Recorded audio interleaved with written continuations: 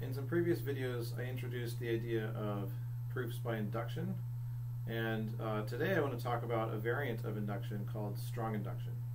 So remember uh, our motivation for induction. If we have some uh, uh proposition P that we're trying to show for all natural numbers, we kind of imagine proving this chain of implications, right, where we start by proving the base case P0, and then each one will imply the next one, and that's going to give us uh, all the natural numbers.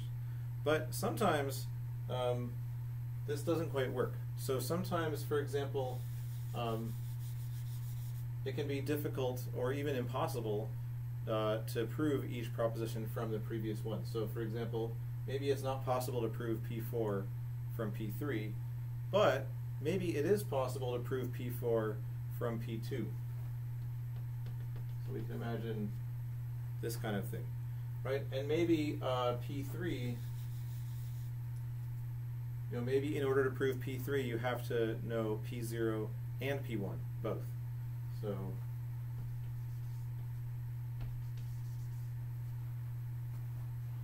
And the question is, is this okay? Uh, does this still work? And uh, in fact, it does work because as long as each proposition uh, only depends for its proof on previous ones, um, this is going to work out fine. So if we start by proving P0, uh, that implies P1, P1 implies P2, and now we already know all three of these are true, and so uh, we can then conclude P3 is true because it's implied by P0 and P1. And then in this scenario, P4 is also true because it's implied by P2, and we already proved that. Okay, so as long as each one just depends on not necessarily the one previous one, but on something before, um, it's going to work just fine. And so this is the idea of uh, proof by strong induction, where we don't uh, just assume the one previous proposition, but we assume all the previous ones. So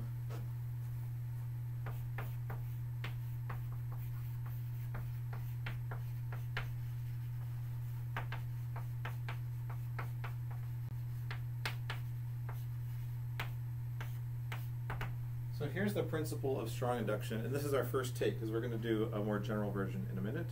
Um, the idea is it's going to be very similar to uh, induction. So we prove uh, that the proposition P holds for 0, and for all k n, and here's where we would have said uh, P of k implies P of k plus 1. But we're going to say hey, if P of 0 and P of 1 and P of 1 and dot dot dot P of k, if all those together imply P of k plus 1,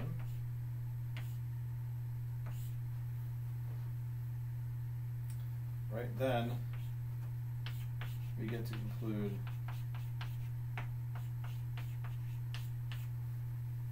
that the proposition P holds uh, for all natural numbers n. Right, so this is the this is the important difference right here. Instead of just assuming P of k as our induction hypothesis, we're going to assume that P holds for all the previous numbers, 0 up to k.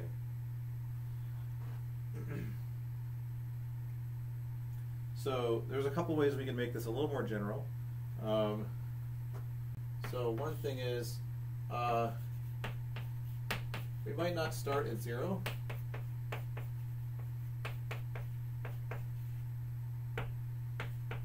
So we saw in a previous example where uh, we were doing a normal proof by induction, um, but our base case wasn't zero. We our base case was uh, I think it was four in that case, uh, and we can do the same thing here. We might not necessarily start at zero.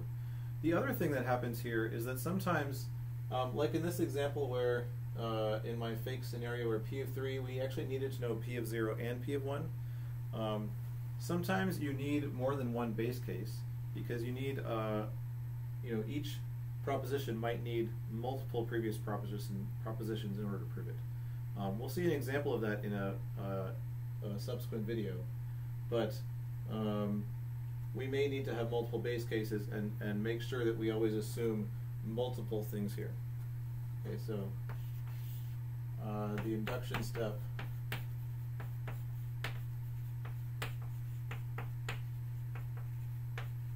might require uh,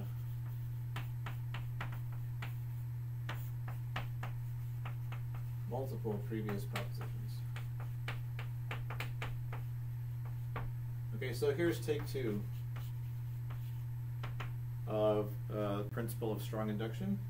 So we assume not P of zero, but P of B. B stands for base case, so whatever our base case we want it to be. And uh, we're going to say for all k greater than or equal to uh, B plus J. So J is going to be some, like, how many cases we actually need in order to get going, in order to get our induction hypothesis, our induction step off the ground.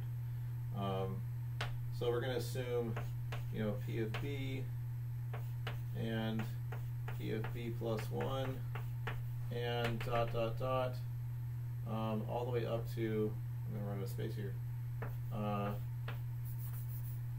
P of B, uh, no. What do I want to say here?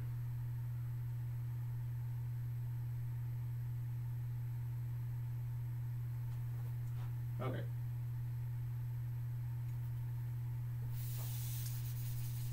Sorry. okay, yes. The point of this is that, of this number two, is that we actually need more than one base case. Uh, and I, I forgot that as I was writing this.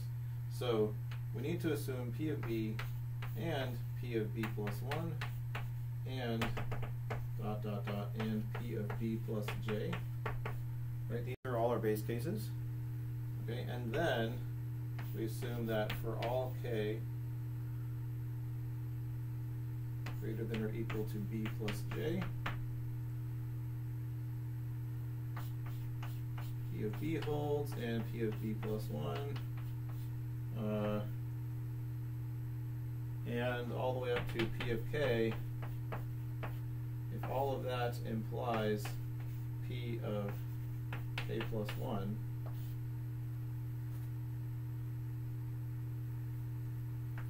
Okay, then we can conclude that for all n, of n. So uh, there's a lot of letters in this one, um, and uh, we're going to see an example of this, and I ho hopefully the example will make it a little clearer. Um, uh, one last thing to mention is that uh, the name strong induction makes it sound like uh, this is somehow more powerful than the induction we talked about previously. It turns out that's not true. So uh, normal, or we could call it weak induction, and strong induction uh, are entirely equivalent. So hopefully it's clear that using strong induction, you could prove uh, weak induction. Uh, it's not so obvious that you can actually do the other other way around. So um, just using normal induction, you can prove that strong induction works. Um, you can read more about that in your book. Um, but sometimes it's useful to distinguish which form we're using, um, not because one is str really stronger than the other, but just because uh, it's helpful as humans to communicate how we're, what kind of proof we're doing. So in another video, we'll, we'll uh, a couple more videos, we'll do some examples of proofs by strong induction.